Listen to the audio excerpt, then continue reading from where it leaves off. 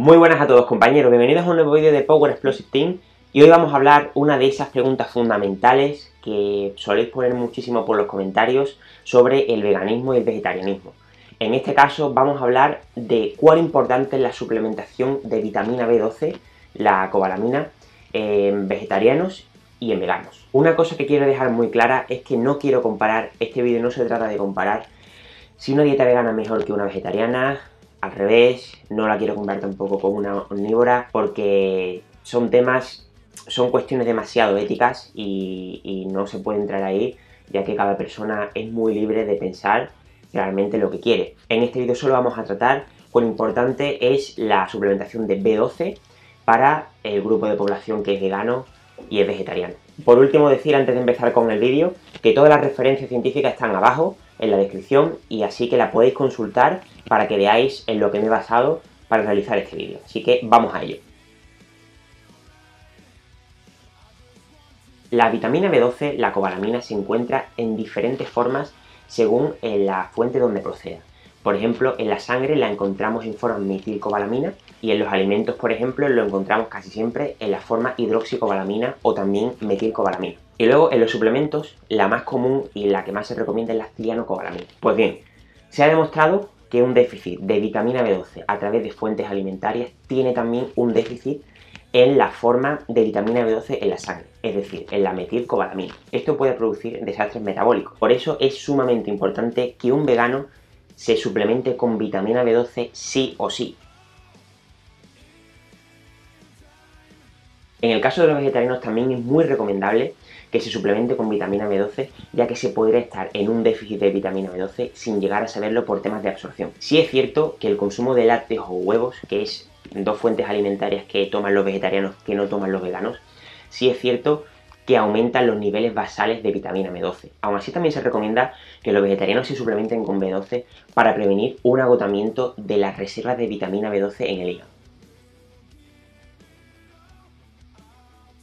Como ocurre en muchos sectores dentro de la nutrición, sea vegano, vegetariano, paleo o lo que sea, hay personas que no quieren suplementar ya que piensan que es una cosa muy artificial, que no es natural, y hay vegetarianos y veganos que no suplementan con vitamina B12 y básicamente porque, por eso mismo, porque creen que la suplementación no es natural.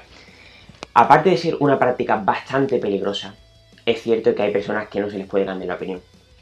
En ese caso, habría que recomendar a esas personas que por lo menos tomasen alimentos enriquecidos con vitamina B12, que se puede llegar a una ingesta diaria recomendada con la adición de esa vitamina B12 en alimentos fortificados. Algunos de estos vegetarianos y veganos que no quieren suplementar con B12 porque piensan que hay algunas algas o algunos fermentados que contienen una cantidad de vitamina B12 suficiente para aumentar la vitamina B12 sanguínea, aún no hay ninguna evidencia sólida de que estos alimentos tengan una vitamina B12 biodisponible, ni que realmente rellene los depósitos de vitamina B12 sanguíneos. El suplemento que se debería de consumir de vitamina B12 cuando se tiene un déficit sería la forma cianocobalamina, que es la más estable y la más estudiada. Es la más recomendada actualmente por los mayores expertos de vegetarianismo y de veganismo. Hay que decir que hay muchas marcas de suplemento que están más especializadas en proporcionar una vitamina B12 de calidad que algunas farmacias. Como también ocurre en otros nutrientes que necesitamos a través de la suplementación, hay algunas marcas de suplementación que están mucho más especializadas que la misma farmacia para proporcionar ese suplemento de vitamina B12 a la estabilidad de la, de la vitamina, en el precio, en casi todo. Por lo tanto, una recomendación que puedo dar es que encontréis esa marca de confianza para suplementaros con la vitamina B12.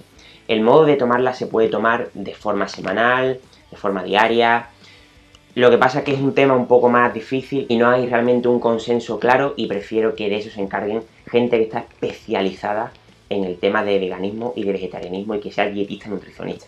Lo que sí tendríamos que saber es que a más dosis de vitamina B12 externa, menor nivel de absorción, por lo que tendríamos que tener un conocimiento válido si queremos suplementarnos con vitamina B12 y no consumir cuanto más mejor. Habría que hacer unos cálculos de entre todas las fuentes de vitamina B12 externas que se consumen, sea de suplementos, sea de alimentos enriquecidos, por lo que habría que informarse muy bien sobre qué dosis deberíamos tomar a lo largo de la semana para cumplir esas cantidades que necesitamos a lo largo de nuestros días. Si habéis dado cuenta, no me he metido de lleno en cantidades, en tomas, en timings, ya que creo que es algo demasiado específico, algo demasiado que toca muchísimo la salud y es algo demasiado ético. Entonces prefiero que se encarguen especialistas dietistas nutricionistas que se encarguen exactamente del tema del veganismo y del vegetarianismo. Pues nada más, si te ha gustado dale a like, compártelo y nos vemos en el siguiente vídeo. Un fuerte abrazo compañeros.